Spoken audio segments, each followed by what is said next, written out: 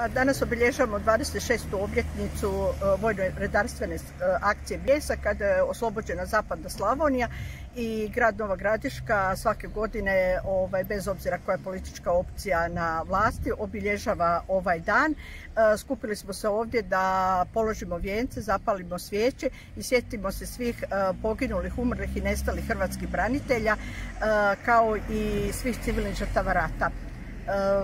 Ovih dana, eh, osim što obilježavamo i vojno-redarstvenu akciju Bljesak, sjetimo se svi i 1. Eh, eh, svibnja praznika rada.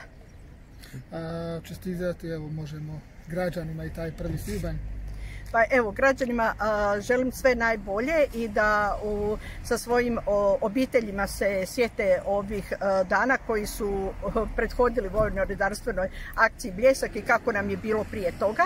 A svim građankama i građanima Nove Gradiške čestitam prvi svibanj, Međunarodni praznik rada, sa željom da sve vlasti koje to bile u gradu Nova Gradiška doprinesu tome da se razvije gospodarstvo i da sve što više naših sugrađanki i sugrađana dobiju posao u gradu Nova Gradiška i ostanu u gradu, a ne da idu u Irsku, Njemačku ili ne znam kud drugdje.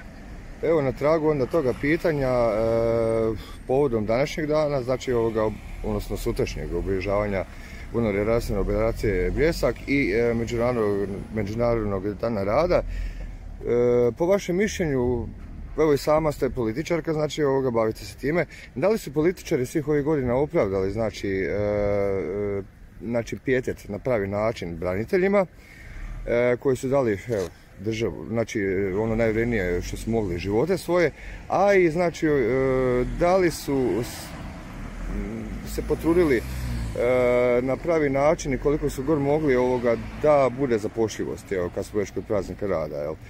Znamo kako je on započeo u Čikagu, jel davni. Da. E, što se tiče uh, i vojno-redarstvene akcije uh, Bljesak, jel, koja je u biti ovaj, sutra godišnjica i sutra Međunarodnog praznika rada, pa kad bi pitali naše sugrađane, a ja se dosta družim s ljudima svakodnevno, mislim da političari svih opcija nisu opravdali dovoljno ono zašto su se branitelji borili, a to znači da za jedan bolji prosperitet građana ne Nove Gradiške, nego i cijele države. Jel?